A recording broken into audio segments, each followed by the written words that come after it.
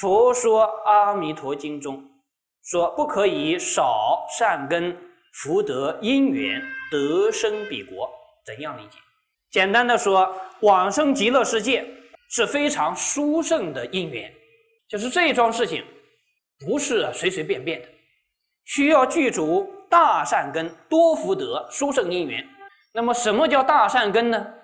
遇到这个法门能相信，这叫大善根。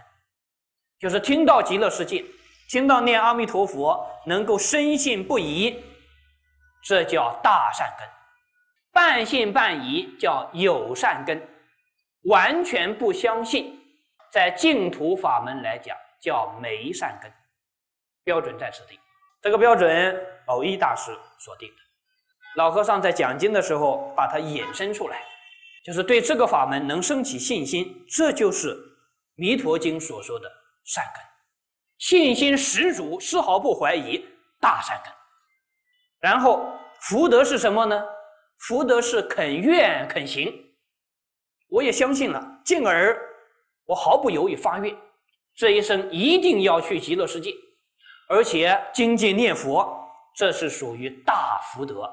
肯念佛的人，肯往生净土的人，是人世间福报最大的人。这福报超过世界首富，所以念佛人回家要偷笑嘞。谁最有钱？念佛人最有钱啊！是那钱在哪里呀？存在银行。那个世界首富的钱也照样存在银行啊。是存在哪个银行？极乐世界银行。我们存的都不是钞票，什么人民币、美金、欧元那都不值钱了。存的是什么呢？全部是金砖，金条都没有意思了。极乐世界金砖铺地呀，我们家太有钱了，建筑材料全是七宝，什么钻石都要靠边站。穿的衣服绫罗绸缎都有些过时了，极乐世界菩萨穿的都是妙宝衣呀，这个衣服随心所欲，根本不用逛商店去买呀。想穿什么衣服，动一个念头，最时尚的服装在身上，全是珠宝装饰。用珠光宝气来形容毫不夸张。想要到哪里去旅游，私人飞机都不够安全了。你说明天我想去九寨沟，念头一动，九寨沟不好玩，我们到外太空去，七宝宫殿随身飞行，这个是念佛人的福报，真是这样。所以念佛人如果认识到有这样殊胜的果报，怎能不发愿？怎么还会放弃呀？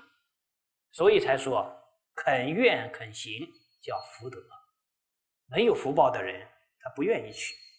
因缘是什么呢？这一生遇到这个法门就叫大因缘，遇到了把握珍惜成佛的稀有因缘，这就是《弥陀经》上讲的，不可以少善根福德因缘得生彼国。